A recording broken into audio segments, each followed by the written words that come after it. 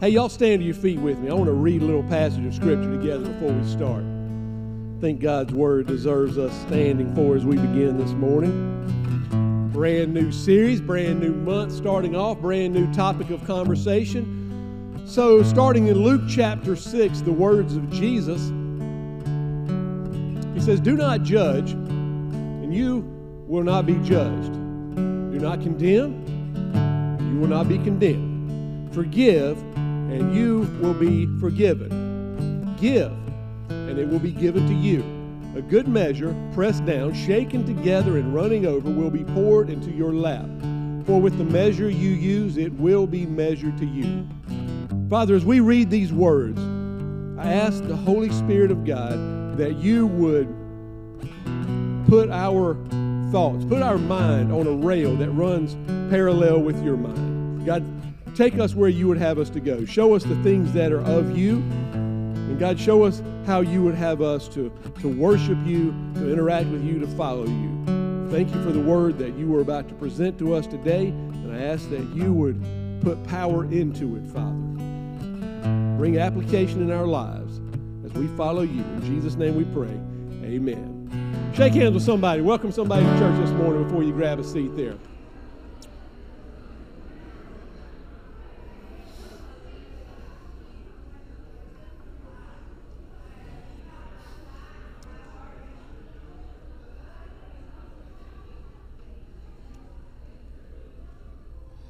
Right, as you guys are finding your seat there, I want to remind you that tonight at 6 p.m. we're having our, our second uh, night of worship, and so our worship team is going to going to have the stage. And yeah, come on, let's thank our worship team. Yeah, let's be excited about what they're going to do tonight. Amen.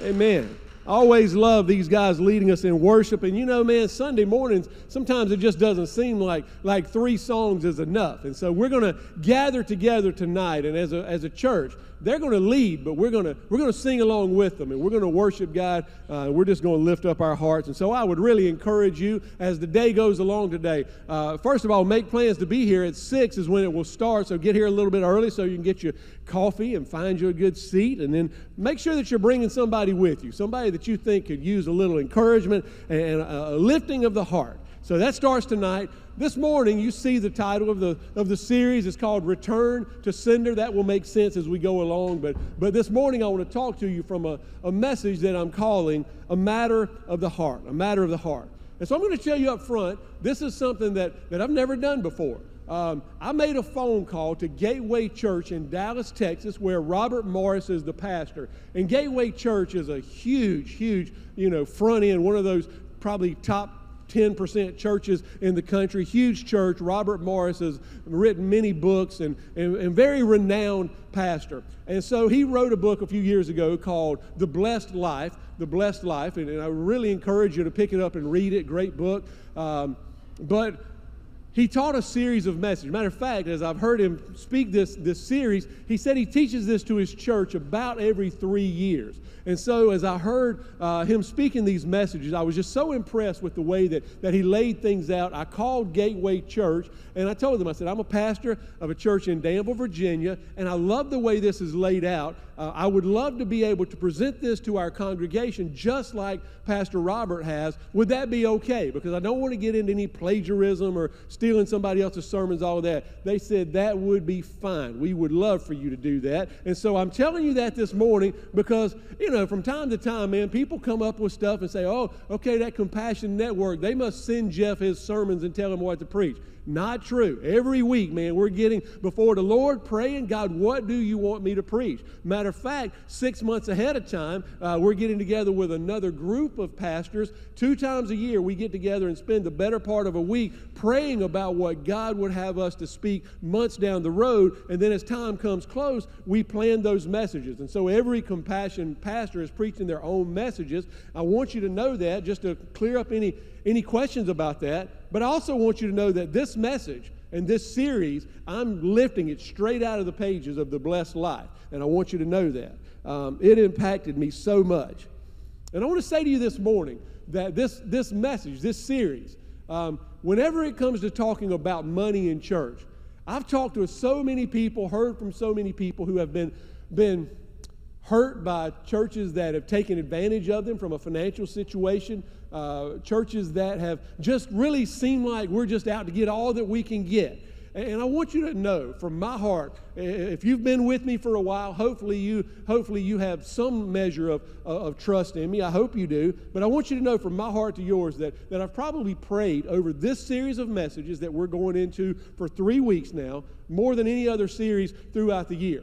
Part of that is because I never want to I never want to make you feel like you've been approached by a greasy salesperson that's just trying to get something from you. But more than that, I want you to understand that this message, this series on giving, it's really not about money as much as it is about your heart. And, and, and, your heart connecting with God. And like we talked about with the 10 lepers, it's, it's a heart of gratitude and understanding how Jesus wants his followers to operate within that. I want you to get what God wants you to get out of this. And so we're talking about a matter of a heart. Um, here's the thing, man. When, when, when God has your heart, when He has your whole heart and everything in you is leading to God, when He's leading and you're following Him in every area of your life your marriage, your parenting, your career, your finances, your future, your health when you're letting Him lead in all of those areas, He is so much more capable of leading than you are of drawing up a plan. Um, so that's where we're going. I want to go back now and start off with the passage we just read from Luke chapter 6. Then in a few minutes, we're going to go over to Deuteronomy. We're going to see some words from there. But in Luke chapter 6, I want to begin right here. In verse 37, now pay attention to this verse, Luke 6 37. Jesus says, Do not judge. And what will happen, church, if you don't judge? Do not judge in what? You will not be judged. He says, Do not condemn, and what will happen, church? You will not be condemned. Forgive, and what will happen, church? Now, did he say anything about money in any of that? You didn't see money mentioned anywhere. He said, he said, he said, don't judge, and, and judgment won't be given back to you. Don't be a person who condemns others, and condemnation won't come back to you. And he says, do forgive people, and forgiveness will come back to you. Now, what he's saying, it's not about money, it's about these things. And what he's saying is what you give is what you're going to receive. So Jesus didn't talk about money in verse 37. Now, let's tie verse 38 on to that. So, verse 38, he says, Give, and it will be given to you, a good measure What's a good measure? Well, if you if you buy a bushel of barley, you want to make sure that you're putting that bushel basket up on the scale. How much does a basket itself weigh? Okay, we're going to tare that out. We know how much that weighs. Now we're going to pour what is equal to a bushel into that. So we're going to have a good measure, a full bushel. Now we're going to press that down. We're going to shake it together. We're going to pour some more on it, and it's going to be running over. And that's what's going to be poured into your lap. In other words, you're going to get more than you even bargained for. And he says it will be poured into your lap. For with the measure you use, it will be measured to you. Now, if, if you've ever heard this passage preached, you've probably heard it preached in the context of money. Give money and you'll get money back. But that's not what Jesus said. He never used the term money here. He said, he said don't condemn people, right? Uh, he said, don't judge people and don't hold forgiveness against people. When you give, it's going to come back to you in a better measure than what you've poured out. What's Jesus saying? What he's saying is whatever you give, there's a principle that says it's going to come back to you. So, so if you give hospitality, maybe you're not a hospitable person by nature, but maybe God is impressing upon you to open your home to people and allow people to come in and share a meal with someone. You give hospitality, guess what's coming back to you? You're going to find hospitality. If you give your time, maybe time is more important to you than money, and you don't have time to, to, to do this and this and this. But God says, when you give time, guess what comes back to you? Good measure, pressed down, shaken together, running over, poured into your lap. He says, if you give love, love will come back to you. So let me ask you a question What is it that you need in your life? Do you need friends?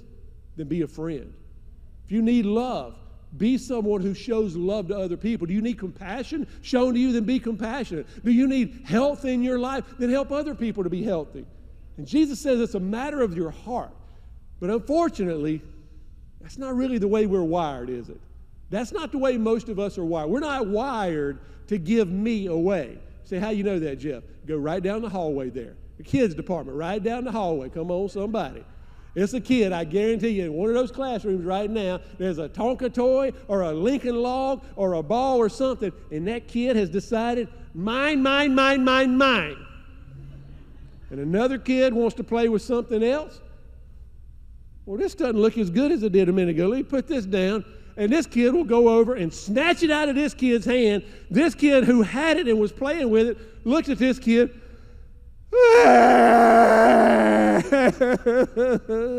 and kid A is now saying, Mine, mine, mine, mine, mine, mine, mine.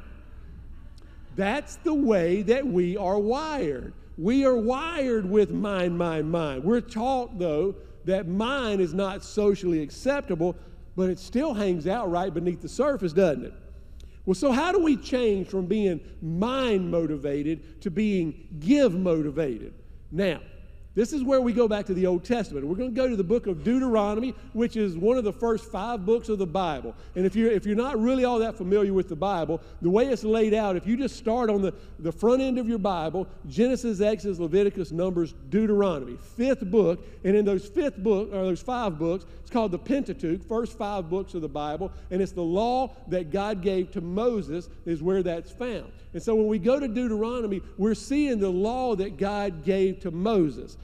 Well, what do I make of that? Well, I'll just keep this brief. There's a lot that you can make of that. But what this, this law that God gave to Moses that we're going to read about in Deuteronomy, one of the things that we find is that God created this law to give to his people. And remember, he, he rescued his people, the people who were descendants of Abraham. God had promised them that he would be their God and they would be his people and he would, he would put his mark upon them. And so he moved them from Egypt to a promised land that he had given them. And when he got them to the promised land, now, now they've come to the land that would become Israel. He says, okay, now I'm going to give you a system of law.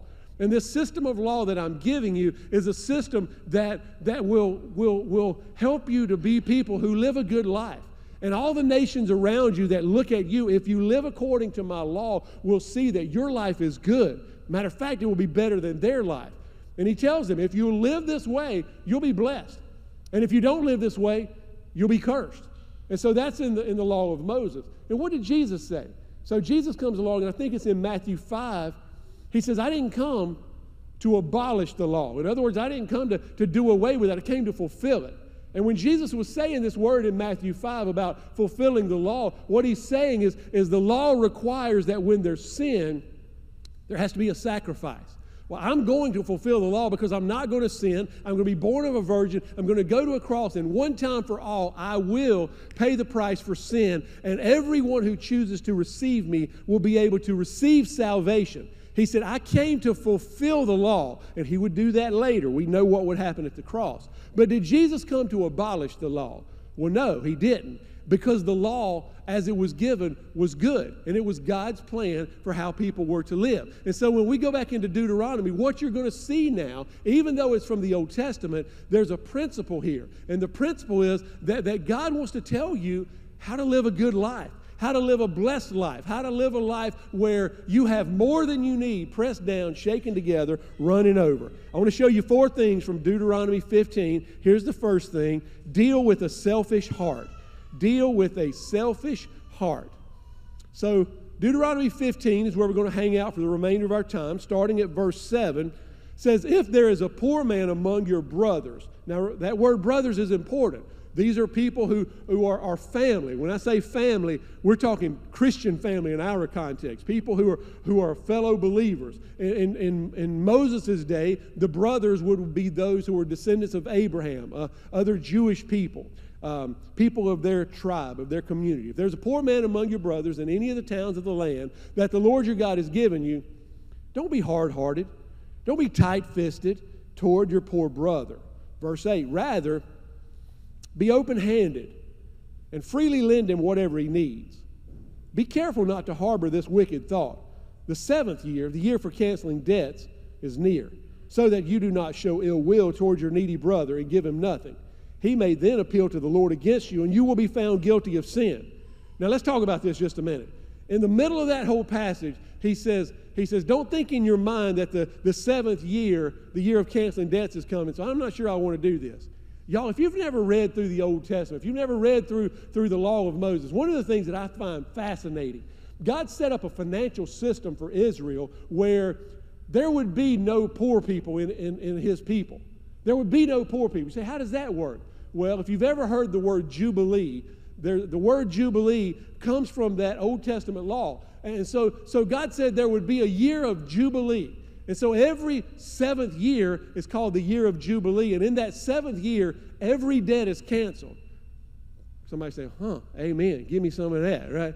Somebody got a $300,000 mortgage right now that you're about $82 into paying for, and you are looking for that seventh year. Yes. Yes. Every seven years, the debt would be canceled and they would start all over. So if you were poor, you ain't going to be poor but seven years, right? That's the most you would, you would stay broke because in that seventh year, all of your debts are canceled. Now, what's he saying? He's saying, suppose that someone in your community, someone, someone that, that, that's, that's a friend of yours, a brother, another Christian, someone you go to church with, they're struggling. And you look at them, you say, man, they're really having a hard time. And they can't make ends meet. Now, this isn't always about people squandering their money on things, right? I mean, we get it that, that life happens. Anybody ever had a bad situation in your life and you didn't know how you were going to make it for a period of time? One, two, three, there we go. Come on, right. I mean, man, things happen. You have a car wreck and you can't go to work and you're out of work for a time, or, or you're a farmer and the crops don't come in, or whatever, and you're struggling. And so, in this passage, what he's saying is, is when, when you see someone that's that's among your people and they're really struggling to make it. And they need some money from you and you have money that you could help them with. He's saying don't look at them and say oh no i don't i don't know that i want to help them. He says he says have an open hand. He says have an open heart. Do not be hard-hearted or tight-fisted towards them. He says rather be open-handed and freely lend him what he needs. Be open handed and freely need, lend him what he needs. And he says this I find this so interesting. God knows how our crooked, little twisted, janked up minds work, doesn't he? He said, Don't you be looking at that thinking, well, the year of Jubilee is just around the corner. If I lend this man $3,000, and that's what he needs to make it and to set everything up, but he only has six months until Jubilee comes, he's not going to be able to pay it back, then I'm going to lose my money. He said, Don't worry about that. Give it anyway. Have compassion upon this person, whether they can pay it back or not. Uh, what? Do what? Do what, Lord? That's what he says. He says, Don't worry about that Jubilee thing coming up. Be careful not to harbor this thought. Seventh year, year for canceling debts is near, so that you don't show ill will and give him nothing, because he may then appeal to the Lord against you and you'll be found guilty of sin. So he's saying, when you see need and you have the ability to meet that need, do it. It's simple. Don't be selfish. Help others. Now, here's the second thing, goes right along with it. Deal with a grieving heart. Deal with a grieving heart. Deal with a grieving heart. Um, grief is a grief is an interesting thing, and we typically equate grief with death and loss. But grief is not always about death. It's not always about the loss of a loved one. You can, you can go into grief when you lose your job and you worked with these people for 15 years and now you don't see them anymore. You can go into grief when, when you sell this house and you made a decision to sell it and you moved to this house, but now you're grieving because you miss where you were. Grief shows up in lots of ways. Well, look at what, what, what God says to us in Deuteronomy 15:10. Continuing that thought, he says, Give generously to him and do so without a grudging heart. Then, because of this, the Lord your God will bless you in all your work and in everything you put your hand to. So there's a command here. God says to do things. Do two things. He says, number one, give generously to Him. And number two, He says, do so without a grudging heart, or some translations say a grieving heart. Um, it's not, it's, it's, don't, don't, don't give to him. Say, man, I'm going to give him this money because it really hurts my heart that, that he's struggling and I see those little kids and I don't really want to give it, but nobody else is saying, I'll give it to him. I'll shoot. What does the Bible say? The Lord loves a cheerful giver. How, come on, raise your hand if you're always cheerful when you give. You better put your hands down, y'all. Uh-huh. Lord loves a cheerful heart. But it's not just a command that tells you what to do. It's also a command that tells you what will happen when you do. What does it say? It says, He will bless you if you do this. If you give generously with an open hand, He will bless you in everything you put your hand to. Could be monetarily, it may not be. It may not be monetarily. It may be that He blesses you in other ways. You say, well, man, that's hard. I, I might not want to give generously to someone who's struggling. Kaidra, I just remember something. I'm supposed to take a family out to lunch today, and I, I left my wallet at home, and I, I need about $100. Can you let me, you guys? Hundo right there, baby, get you some of that. Thank you, Kaidra. You know why it was so easy for Kaidra to give that to me? Because I gave it to her before the service started.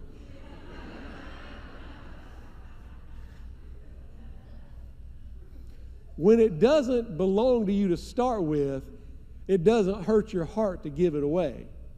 Do you see where I'm going with that? She didn't go out and, and, and break rocks and lay brick and, and work for $8 an hour to get that $100 and hold on to it, squeezing it because she knew how hard it was to get. I took her backstage and said, Hey, I'm going to give you this. Give it back to me when I call you up. And don't you hold on to my money. Don't make me come chase you.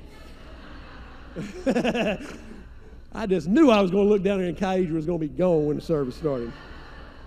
no, my point is, is very simple. The money that you have, the money that, that, that is in your account, where did it come from?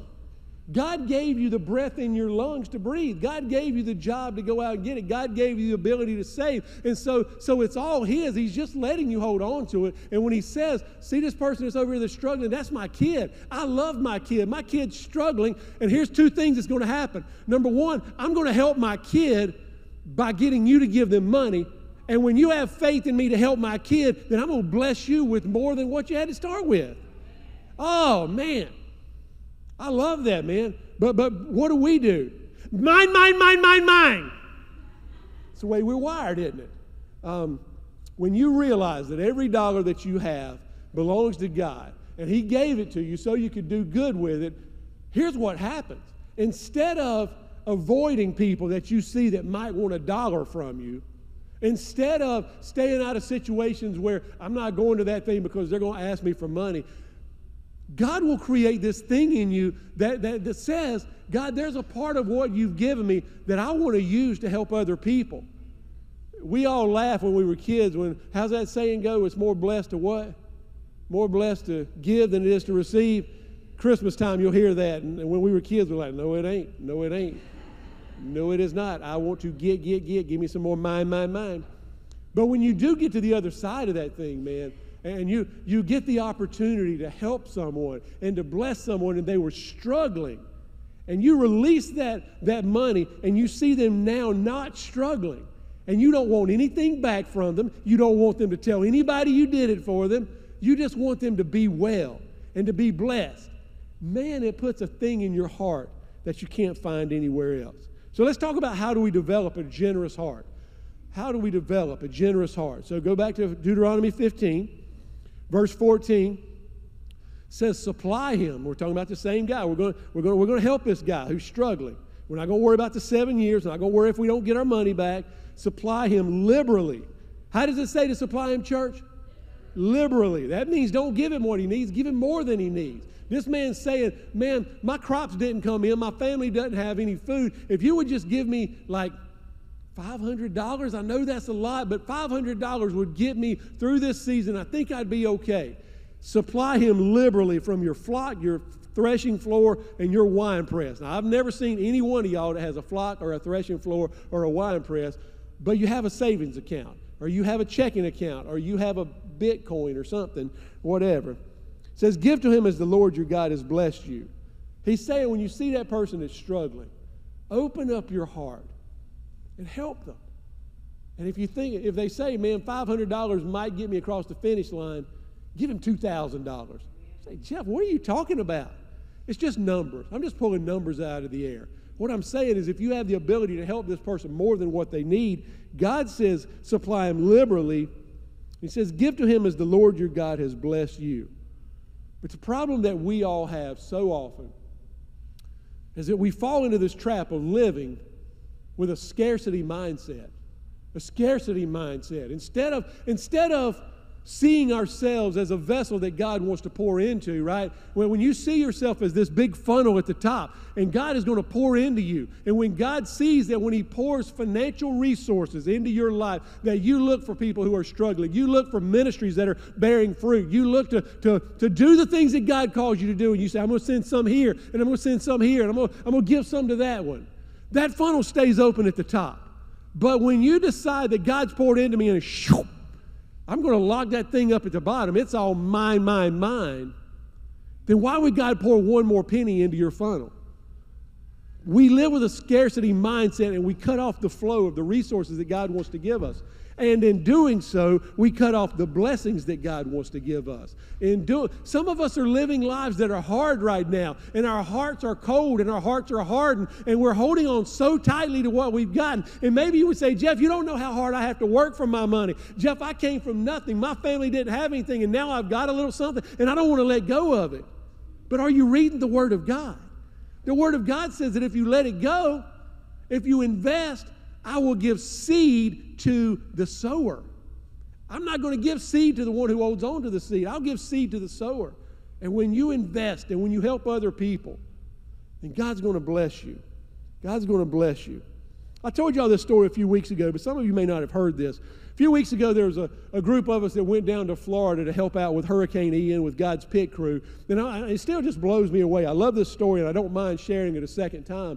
Because as we were going, we stopped at a gas station on the way down, and this lady comes walking across to one of the one of our vehicles, and she goes over and tells the guy that's driving the car, "Hey, I see all the God's pit crew stuff on your vehicle. I want to I want to pay for your gas." We were like, "Wow, that's so cool." So she pays for the gas. They pump the thing, and she's walking by me a few minutes later. I said, "Ma'am, that was so cool. I sure do appreciate what you did."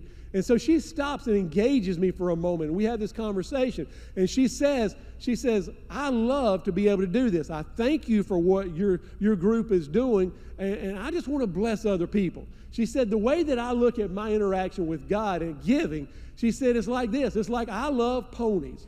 And my dad, my father God, owns all the ponies. And so he's given me a pony. But I see somebody else that doesn't have a pony and they want one, so I just give them mine because I know that I can go back to my father and he'll give me another one. And I see somebody else who wants a pony and doesn't have one, so I give them that one and I go back and he gives me another one. And I thought, what a perfect illustration. She finishes telling that story. We're all standing around talking. I look back a few minutes later. Lady is standing there in her car with a gentleman, and they're looking at a weed eater. Brother takes off with the weed eater, and she has a handful of $20 bills, comes over and hands me four $20 bills. She says, This is for you. This is for you. What did she do? She just gave away another pony. She just gave away another pony, and now she's going to get another one. That's that mindset that God's going to do what God says He'll do. That's that mindset that the sooner I let go of this one, He's going to bring another one back to me. And it's not for me. See, when you're a Christian, when you're a follower of Jesus, you realize that your life is not about you. It's not about me, it's about God's glory. And it's about helping other people around us. And He wants to use you to do that. But we have to develop a generous heart. And she did. She knew how to do that thing, man. Last thing is develop a grateful heart. Develop a grateful heart. Deuteronomy 15, verse 15. This is such a sobering verse of Scripture. He says, Remember that you were slaves in Egypt, and the Lord your God redeemed you. That is why I give you this command today. Who's God talking to? Well, he's talking to people who had descended from those people, those, those descendants of Abraham, who had ended up in slavery in Egypt, and they had no way of getting out. And through God's mighty hand, through a series of plagues, huh, how many plagues were there? 10. Once again, there's that term 10. 10 is a term of, of testing. And through that testing of Pharaoh's heart, God chose one of those, one of those 10 that he would use to set his people free. And, and so, what he's saying in Deuteronomy is, You once were slaves in Egypt, but God looked at you and in compassion, he poured out his love on you. He poured out his favor and he set you free. I wonder if there's anyone here this morning that God has set free from who you used to be. Anybody want to just give God glory right now? Give him a little hand clap of praise.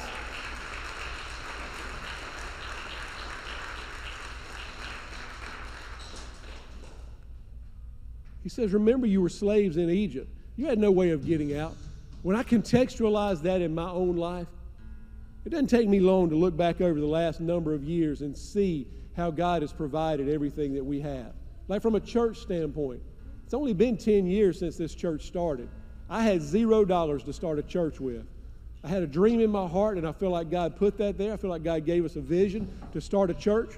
And God provided the money, and God provided the people, and God provided the place, and God provided everything that was needed. We didn't have guitars, we didn't have drums, we didn't have lights, we didn't have anything. And God provided all of that. We started a church, and people started coming. Look at this building you're sitting in right now. Most of you probably never sat in our little storefront church that we were in before we moved here over on Deer Run Road. Little place that would seat about as many people as, as is available right here. Maybe a little bit more, but a couple hundred people was the most that would seat. We didn't have any money. And God provided this huge building for us. Why did He do that?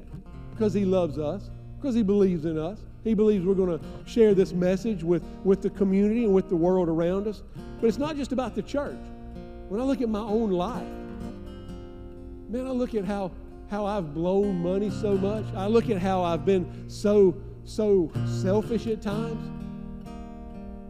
But I also look at times where God has said, first thing you do when you get paid is you give. First thing, more than the money, it's the first thing because that's where your heart is. When you when you honor me with your first fruits, then I'm going to honor you.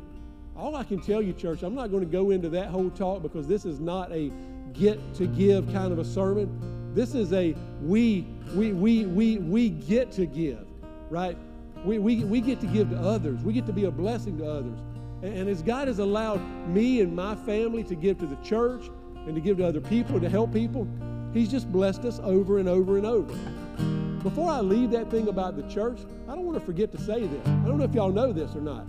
Uh, I mentioned this a couple of weeks ago, but the bathrooms out here that we just finished renovating, I don't know what the number is. I'm going to say somewhere around $75,000 is what it cost to do those renovations because there was so much concrete that had to be dug through and a lot of labor and plumbing and all of those things. I stood before you one Sunday morning and said, guys, there's people coming into our church that can't go to the bathroom because they're in a wheelchair, and that's not okay. We need to we need to raise some money to do this. In my mind, I'm thinking we need to raise about fifty thousand dollars. I don't know how we're going to do it. That very morning, I took the step of faith to say to you, we need to do this. That very morning, lady walks up to me with her husband and says, My husband is a, is a certified plumber and he would like to do the labor on this for you. Probably saved us $40,000 in him doing that. Another family that lays tile and does floor work, donated tile, came in week after week after week putting down tile. So many people volunteered time. What happened? We saw a need, had compassion for the people who needed a bathroom to go to, said, God, we're going to trust you to do it, and He made it happen. Another thing is going on, y'all probably don't even know about this. About a month ago, some guys showed up here on a Monday morning, went to work on the roof of this church, replaced all of the shingles on the roof of this church. Um, didn't cost us a dime. Insurance got involved, replaced all the shingles on the roof. Um, part of that project is, is they're looking at some other things outside. They're also looking at, at, at potentially painting the ceiling in here. Huge undertaking. Uh, it may be that we come back somewhere in the near future. We may have to move some of these pews so that we can get lifts in here so the guys can paint. I don't know how that's all going to work out, but I'm telling you that because everything within the scope of that, I've been told that that could potentially be a $250,000 project. You know how much we've paid on that and will pay on that? Zero dollars. Praise God. Praise God. Praise God. I'm telling you that because what I see as we collectively as a church, when we give, we pour into this community, and we pour into missionaries that come in here, and we pour into the ministries of everything that happens. When we're doing God's work, He's going to take care of everything else that we need. And I see it firsthand in my life, and I see it in our church. And here's what I want to close with. Over the last few months, I've been talking to you guys about the pillars of our faith. And here's why. Look around, man. We're, we're, we're not, we're not, you know, whatever you would think of as a traditional church that, that people have been going to that church for a million years. We're a collection of people that, that maybe have been to church for a while, maybe we've never been to church, maybe we didn't care about church, but we're a collection of people who, who maybe we don't have all of the pillars of the faith laid out. So I've been talking to you in, in recent months about, hey, let's get some of these foundational things down. Let's, let's go to church. Let's read our Bible consistently. Let's pray. Let's get connected in groups. Well, you want to know what another um, pillar of the faith of a Christian is? I'm not talking about somebody who just wants to be a morally good person. I'm talking about somebody who's following Jesus. When you know what Jesus did on that cross and the price that he paid to redeem your life, and he says to you, part of following me is to give, to give to the work of the local church, then that's one of the pillars of our faith. So, over the next few weeks, I'm unashamedly going to talk to you about what it looks like to give to the church. And I'm doing this not because I want something from you or need something. God provides everything we need. I'm doing this because what you're going to find is when you engage God through faith and giving, the way that He calls us to give, you're going to see Him pour out His blessings on you. You're going to see, just like that one leper that said, Thank you, Lord when you really express your gratitude to Him, you will feel the joy of the Father. But we don't get there by just doing what we want to do. We only get there by following God's instructions. So I want to pray with you before we close. You know, as you as you sit there with your heads bowed and eyes closed, talked an awful lot about giving. Whatever it is that you need, give it away, all of those kinds of things. It reminds me of John 3:16. Our God loves. what does he do as a response to his love? For God so loved the world that he gave his only son. God loved, and he gave us Jesus. Let's make that personal. Almighty God loves you. he has a plan for your life. And his plan for your life is to put away whatever the devil is screaming into your heart right now. He wants to take away all of that anxiety and fear and worry. He wants to take away the past mistakes and he wants to give you hope. He wants to give you purpose. He wants your life to have meaning. He wants your life to have joy. When I talk to you about tithing and offerings and giving and going and all of those things, what are you doing? When you do that, you're glorifying God. Whenever you give Him glory, he always returns joy. But if you're not in a personal relationship with Jesus, and if you've never given your life to Him, then you don't know the joy of the Father. But That could all change today. God loved, so He gave.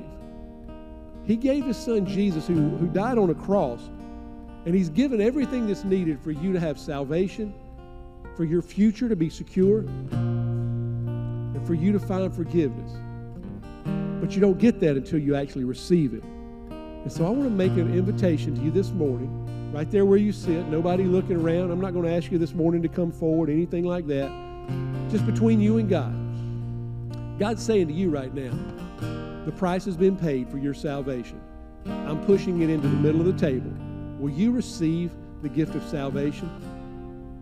As you sit there right now, if you would say, Jeff, that's what I've been looking for my whole life. I want Jesus to save me. I want to give him my life today.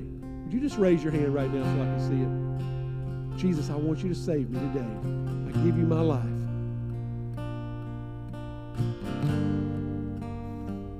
Father, this morning,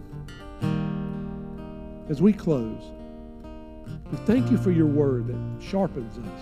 Thank you for your word that clarifies things. God, thank you that you show us that our lives are not about what we're doing today and this week and what we want and what we've got to get, but our lives, we exist for your glory. God, help us to focus on your glory. Help us to focus on following you as Christians, people who bear the name of Jesus Christ. God, help us to be more like you this week. Lord, we give you this message. We ask you to help us to apply it to our lives. Pray that you'll bless your people as we follow you in Jesus' name. Amen.